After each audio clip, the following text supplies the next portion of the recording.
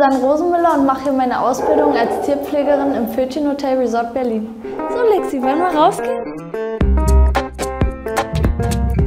Wir sind ein Tierhotel, wo Besitzer ihre Tiere abgeben können, wenn sie in Urlaub fahren oder wenn sie sich krankheitsbedingt nicht kümmern können.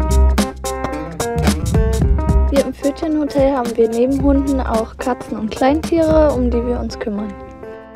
Ich wasche jetzt die Hundedecken, damit die sauberen Hundedecken wieder in die Zimmer können und die Hunde es wieder schön kuschelig haben.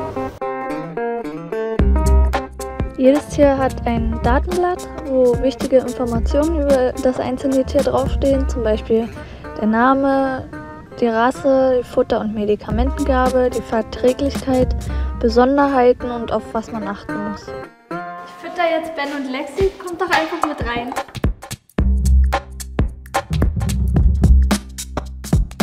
Ich bin mit dabei, damit die Hunde das Futter von dem anderen nicht fressen, damit es äh, kein Futterneid gibt. Ich habe in meiner Kindheit viel auf Tiere von meinen Freunden aufgepasst und habe gemerkt, dass mir das sehr viel Spaß macht und dadurch kam es zu dem Wunsch, Tierpfleger zu werden.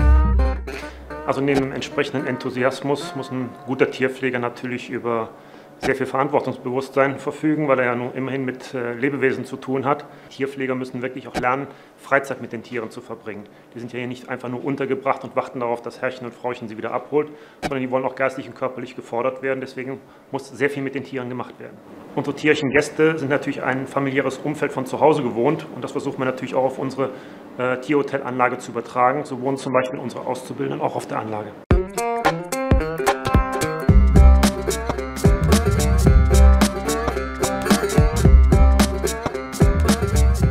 Meiner Arbeit ist es auch, mit den Hunden zu spielen. Wir sind viel in der frischen Luft und haben beide was davon.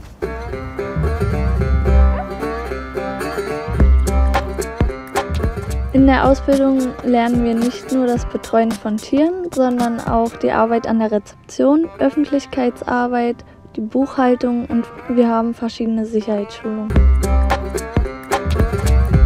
Nach meiner Ausbildung möchte ich gern als Tierpfleger weiterarbeiten und vielleicht auch nebenbei Zucht und Aufzucht machen. Mach es in Brandenburg!